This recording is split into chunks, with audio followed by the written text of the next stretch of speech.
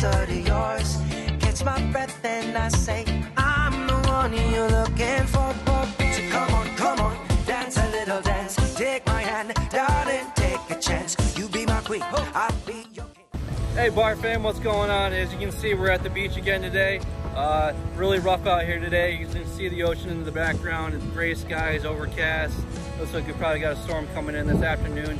We've been on the beach just enjoying ourselves for a few hours now. It's not the greatest day out, but hey, we're, we're at the beach. We're enjoying ourselves. We're with the family and, um, you know, just kicking it.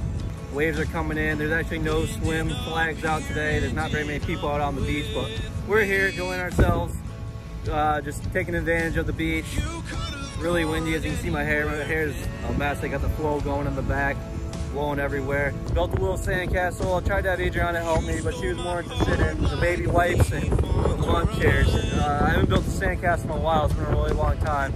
Uh, probably going on, you know, 15, 20 years since I built a sandcastle as a kid. The sun's coming and going, but now it's really getting gray out here, overcast.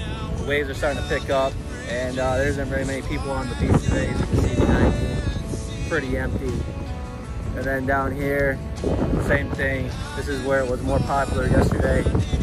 So there's a few people still out here at the uh, boardwalk down there with the Ferris wheel amusement area. Um, I was in the water a little bit, just like ankle deep earlier, just you know, getting the feet wet and everything.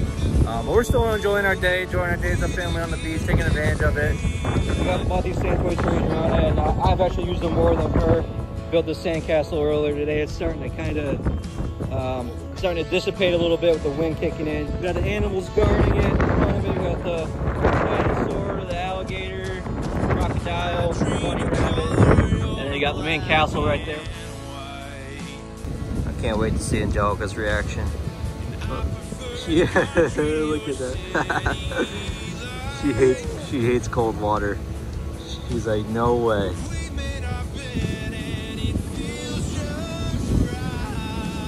Cold, right? She said that's not her cup of tea. needs to be at like 20 degrees warmer, the water.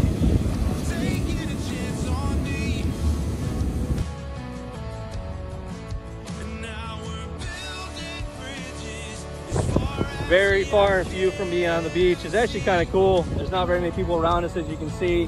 Well, there's a slingshot going right there. But we still got the amusement rides going. And the sun was peeking, it's right there.